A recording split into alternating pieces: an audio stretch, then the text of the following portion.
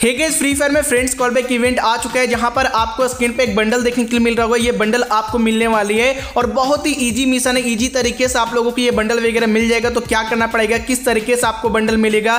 किस तरीके से आपको इन्वाइट करना है? किस तरीके से आपको मिशन कंप्लीट करना है? और किस चीज़ का आपको ध्यान रखना है? सारा डिटेल मैं आपको बताने वाला हूँ। तो अगर आप लोग फ्री फायर के फ्रेंड्स कॉल बैक इवेंट का डिटेल जानना चाहते हो तो आपको क्या करना है? वीडियो को पूरा इन तक देखना है। तो चलो गए फटाफट कर लेते हैं वीडियो की स्टार्ट और हाँ मेरे भाई, अगर आप लोग चैनल पर नए हो तो चैनल को सब्सक्राइब करके रखिए, क्योंकि इस चैनल पर फ्री फायर के न्यू इवेंट का डिटेल आती रहती है, ठीक है? तो चलिए फटाफट करते हैं वीडियो के स्टार्ट ओके okay, सबसे पहले आप लोग को फ्रेंड्स कॉल बैक इवेंट के सेक्शन में आने के लिए क्या करना पड़ेगा? न्यूज़ वाले सेक्शन में चले आना। यहाँ पर फ़र्स्ट में आपको इस टाइप का बैनर देखने के लिए मिलेगा। बैनर पे आपको क्लिक कर देना है। उससे पहले यहाँ पर ये देख लीजिए ये इवेंट 26 अक्टूबर को स्टार्ट हुआ है और सात नवंबर तक चलने वाला है। मतलब इसी डेट को आपको इस इवेंट को कंप्लीट करना है ठीक है? तो चलो फटाफट कॉल बैक इवेंट के सेक्शन में चलते हैं। ओके यहाँ पर मैं कॉल बैक इवेंट के सेक्शन में आ गया हूँ। सबसे पहले आपको कुछ भी ध्यान नहीं देना है। यहाँ पर इन्वाइट फ्रेंड्स पे क्लिक कर देना है ठीक है? क्लिक करने के बाद यहाँ पर आपको एक कोड दिया जाएगा। उस कोड को कॉपी करना है कॉपी करने के लिए यहाँ पर ये क्लिक करना है। जैसे आप लोग क्लिक करोगे ना, आपका कोड कॉपी हो जाएगा, ठीक है? अब आपको क्या करना है, ऐसे फ्रेंड को इनवाइट करना है, ऐसे आईडी को इनवाइट करना है, जो कि दो वीक से ओपन नहीं किया गया हो, ठीक है? ऐसे आईडी को इनवाइट भेजना है आपको कि दो वीक से वो आईडी को ओपन नहीं किया गया हो। हो सकता है आपके पास गेस्ट अकाउंट होगा, जो कि दो वीक से ओपन नहीं हुआ होगा। हो सकता है आपका फ्रेंड होगा, जो कि दो वीक से ओपन नहीं किया गया होगा।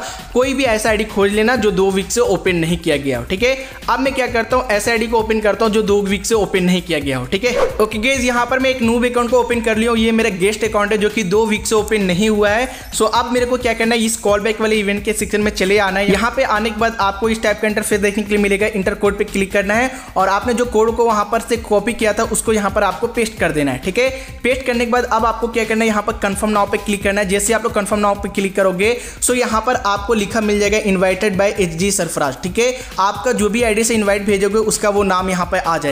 अब यहाँ पर बेसिकली क्या करना है? यहाँ पर अपने मेन आईडी से और इस आईडी से 10 बार गेम प्ले करना है। कौन सा गेम प्ले करना है? आपको रैंक मूड करना है। सीएस वगैरह नहीं करना है, आपको रैंक मूड करना है। रैंक मूड खेलोगे 10 बार तो यहाँ पर पूरा मिशन आपका कंप्लीट हो जाएगा और क्लेम करने का ऑप्शन भी आ जाएगा। यहाँ पर थोड़ा मिशन कंप्लीट करके मैं आपको दिखाता हूँ। गैज, यहाँ पर मैं मिशन कंप्लीट करने के लिए गया तो यहाँ पर आप लोग देखो, इस टाइप का आपको प्रॉब्लम देखने के लिए मिलेगा। यहाँ पर अगर आप लोग रैंक खेलना चाहते हो तो आपके आईडी का जो लेवल होना चाहिए, वो बारह होना चाहिए। तभी तो अपने फ्रेंड के साथ खेल पाओगे। तो सबसे पहले तो आपको जो नूब अकाउंट है या गेस्ट अकाउंट है, उसको आपको लेवल बारह कर लेना है। आपको इस चीज़ का भी ध्यान रखना है कि अगर हो सके लेवल बारह वाला आईडी यहाँ पर दो वीक से ओपन नहीं हुआ है तो उस आईडी में आप लोग कॉल बैक इवेंट को कंप्लीट करने की कोशिश करना है, ठीक है? तो मेरे हिसाब से मैं आपको अच्छी तरीके से समझा दिया हूँ कि आपको कुछ भी ज़्यादा नहीं करना है। अपने मेन आईडी में वहाँ पर कोड को कॉपी करना है और ऐसे अकाउंट में जाना है जो कि दो वीक से ओपन नहीं हुआ है, वहाँ पर पेस्ट करके लिंक कर लेना है, ठीक है?